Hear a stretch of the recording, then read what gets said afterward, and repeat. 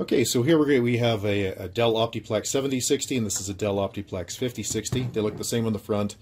A couple of U four USB ports. You could have a knock uh, DVD here. I don't for any of these. Uh, and you can see on the back uh, for the model that I've purchased, um, really the only real difference between these, the, this 5060 and the 7060, is the 7060 comes with PS2 ports, which nobody cares about, um, a serial port, which nobody cares about, uh, well, they're, I mean, they are handy, you know, if you're working on devices, but generally not a big deal. And this has additional uh, USB port and additional uh, uh, display port header. Um, but basically the same inside. I'm going to pull this 5060 apart, um, and uh, let's get to that. So, again, this is a Dell Optiplex 5060. And the first thing we do is pull the little hammer down here and slide that thing off. There we go. Okay, so let's uh, pull the drive out and uh, let me tell you how nice this is. Uh, instead of having, this is completely screwless now. You can just pop this out and the drive just pops out. So really slick.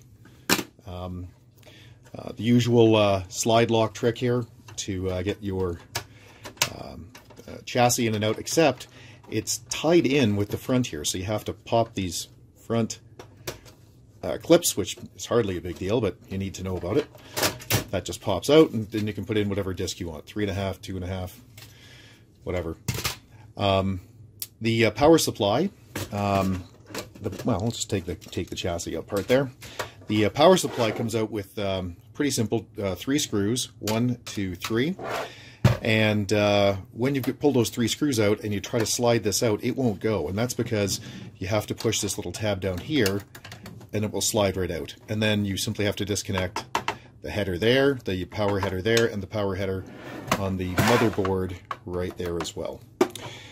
Um, now looking at this, uh, something I can tell you, uh, one of the reasons I pulled this apart to start with was because I wanted to use an M2 uh, chip. So I sourced uh, a pile of Toshiba RC100 uh, chips, and um, uh, they don't work.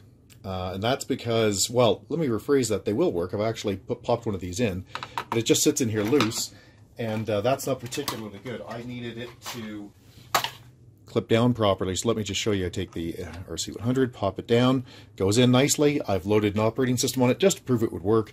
But if you take a look here, you can see that uh, the uh, uh, chip is too large or too small, whichever way you want to look at it. The uh, mount for this is here. So it's uh, 22, I don't know what size it is. It's like a 22 mil wide, maybe 30 centimeters long. This is a 2242, so I'm going to guess it's something like a 30.